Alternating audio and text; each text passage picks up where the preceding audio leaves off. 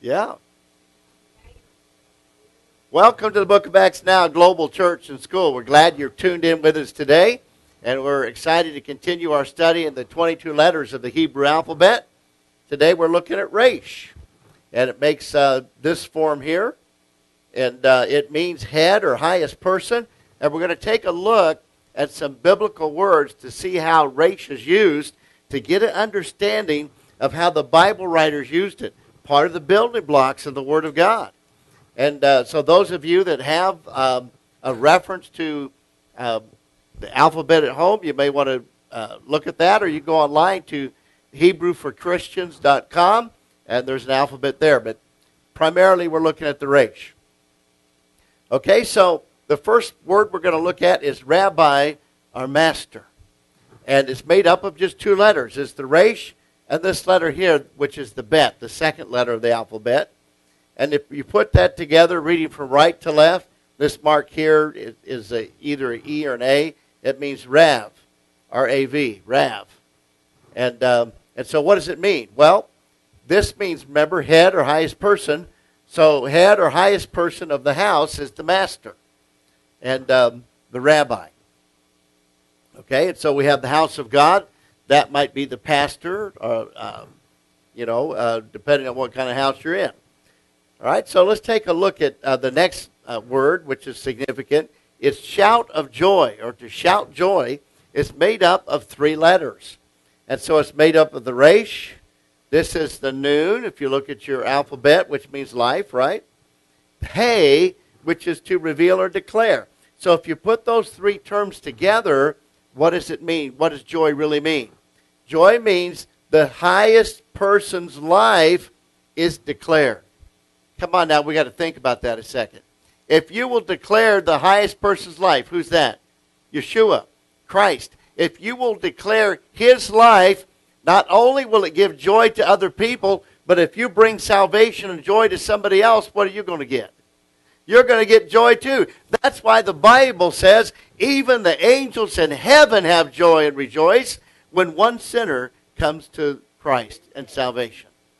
And so God wants us to participate in that, helping others experience the joy and life of salvation, and we get to share in their joy. Can somebody say amen? I'm going to tell you a story that happened years ago. I was a Bible student. I was uh, just out of the Marines, you know, a few years earlier. I still had that hardness of heart from military training. And I had been asked to, to give Bible studies to a guy um, that had mental illness problems, schizophrenia.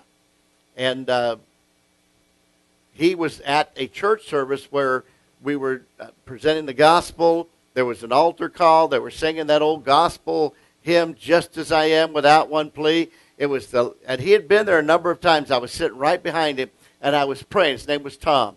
I was praying for Tom that he would accept Christ, that he would receive him and experience salvation and deliverance from the torment he was having mentally. I was sitting right behind him and I realized, wait a minute, this is the last night for him to respond. In fact, it was at the end of the service. The sermon was already done. It was the last song and the last verse of the last song, and this man had not received Christ. And I was sitting behind him praying, Oh God, let this be the night that Tom will receive and confess Christ as his Savior. And you know what happened? On the last, the last chorus, Tom got up and began to labor. He was a big guy. Began to labor his way down to the altar to surrender his life to Christ. And the old hardness of heart that that Marine, ex-Marine had, former Marine, broke my heart, and I began to weep for Tom because I realized he was experiencing freedom and Christ and the joy of salvation by going forward and confessing Him. And it broke my hardness of heart. And I experienced the joy and the shout of joy of salvation. Womb and compassion is made up. Uh, by the way, this is translated both womb or compassion. This is significant. I want you to think about it with me. The highest person, uh, this is the inner chamber, secret place, massive waters. So the highest person's inner chamber where the massive waters are at. Who puts life in the womb? The Savior does. God does. And out of the womb comes compassion. When Christ was moved with compassion for the lost and for the crowd.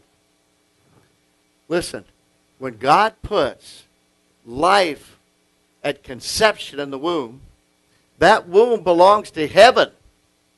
And a miracle's happening in that womb. And when we abort that baby, come on now, I didn't say fetus. That's an unborn child. That is a that's a life that's in that womb. And so we know by looking at what the Bible says concerning life, the beginning of life, that this is holy. Life begins not at birth, but at conception in the womb, because it's a miracle that God does. Let me tell you something. You can't create a life in an incubator. God creates it in the womb. Rakem is how you pronounce that. Okay, and then fruit.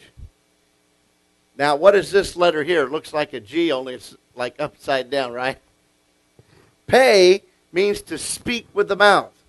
Resh, the highest person, and this little thing here means like the elbow. It the elbow controls the hand, and so what it really means is work of the hand.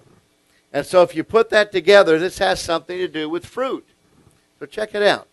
To speak of the highest pers- the highest person's work produces fruit.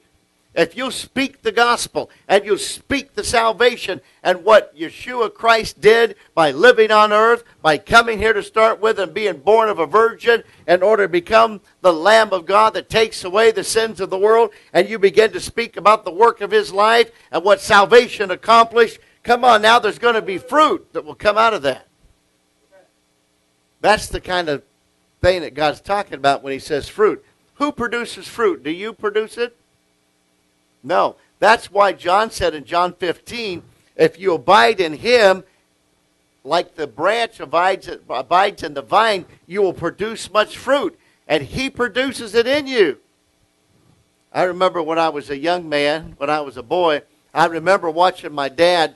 He had fruit trees. And to get good fruit, they'd take a branch from another tree and they would cut a hole and graft it into the, uh, the trunk of the tree put some wax around it to protect it and string so it would be secured. They graft that new branch, maybe an apple tree, they grant, graft another branch from a different tree in there, and it causes it to produce good fruit. But if you remove, if something happens and you remove that branch from out of the stock that you just put it in, the branch will die. And so what what John is saying to us in John chapter 15, you know, we're the branches, he's the vine. And you can't bear fruit without him. But if you get grafted in, come on, if you get grafted in to the vine, you're going to produce fruit. Why? Because he produces the fruit in you and causes it to come. Amen?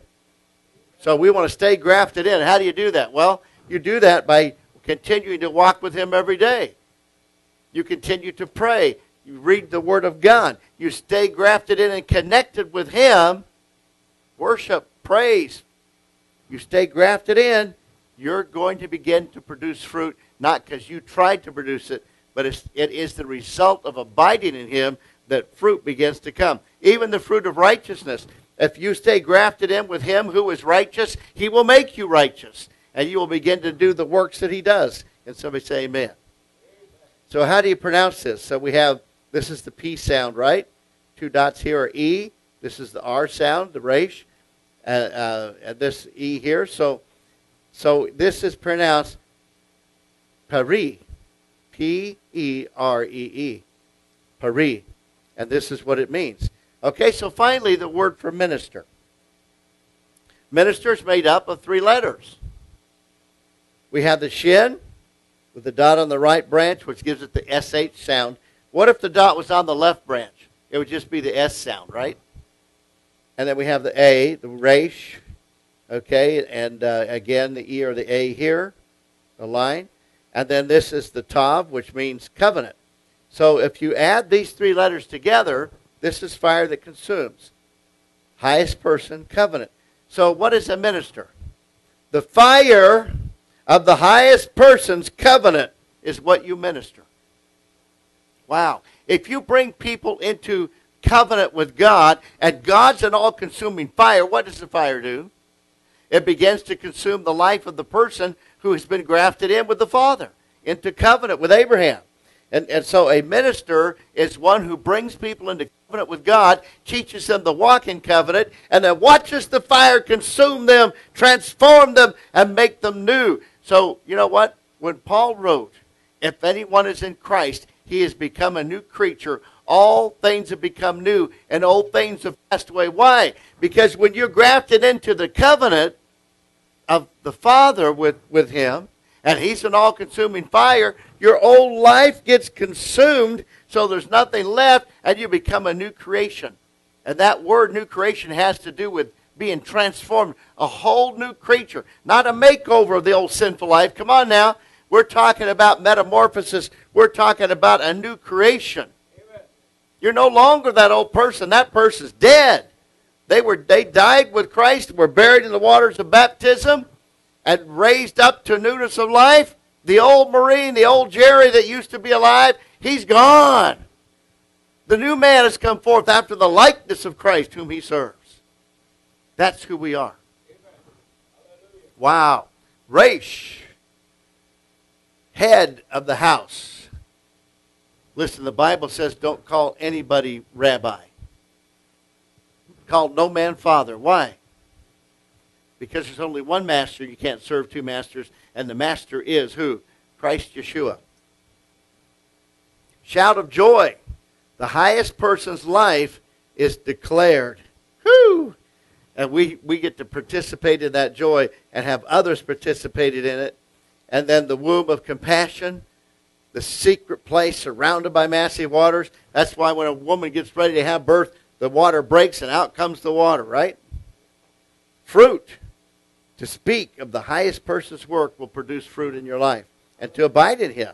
And then as ministers, wait a minute, is the minister only just the hired pastor that we have? We're all called to be ministers.